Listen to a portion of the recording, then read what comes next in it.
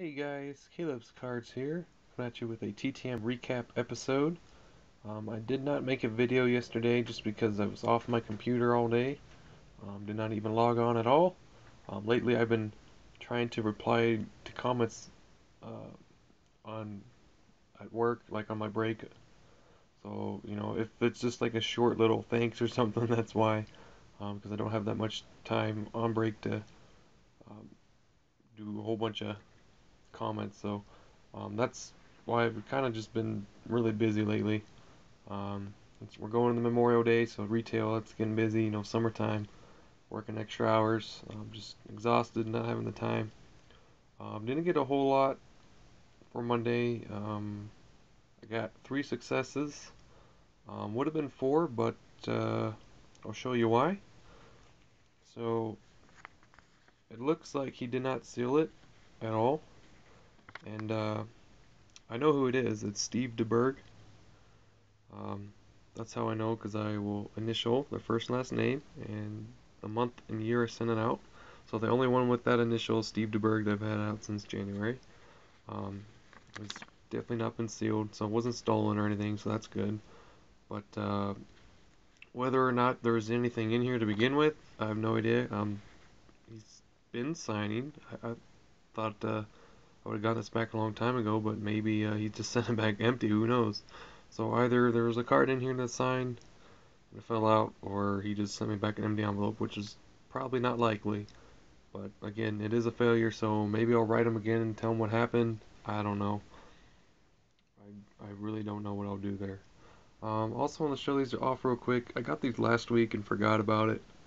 Um, I just picked up former Rocky Jay Payton. I picked up an autograph of him. It was like 50 cents on CMC, so I bought it.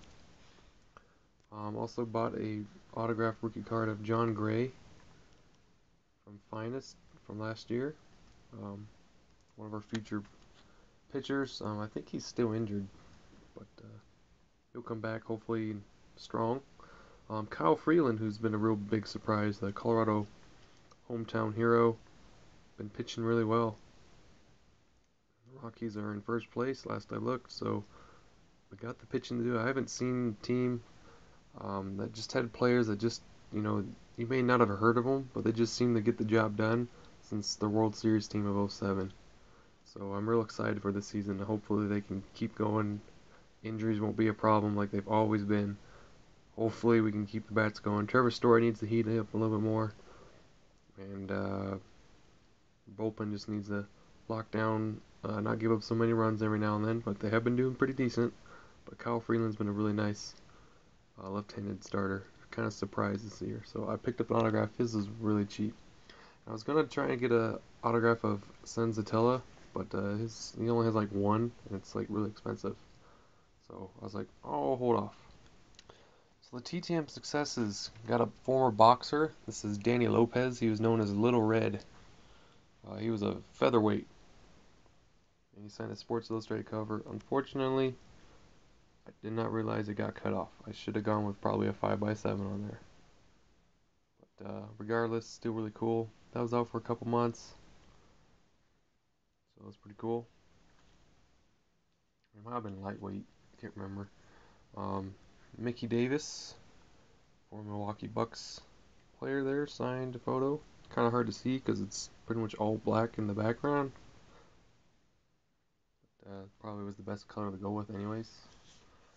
And then got two TTMs from the UK. This is for my sister's been out probably exactly a year, if not almost exactly a year. Uh, sent out in May 2016. It was meant to be a Christmas gift for her last year, but uh, I guess it came a little late for her birthday, but that's alright. He did inscribe it to my sister, and uh, she's a big fan of Doctor Who, and this is her favorite Doctor, David Tennant so she liked that one. Signed at 8x10, so technically, um, if you don't include the TTMs I sent to the UK about a month ago, because you know they'll probably take a while anyways, so I'm not including them. I'm pretty much 100% for my UK send out, so it's pretty cool. I haven't sent that many out, but that's pretty good return ratio. Um, at least 10 have come back, 10 out of 10, at least. So that's pretty encouraging to continue that. And then I got an email from Guy Smith. I forgot I sent this out. This is from the UK. Sent a signed photo uh, for his Bentley racing car. And he sent a couple unsigned, just like advertisements and the race roster.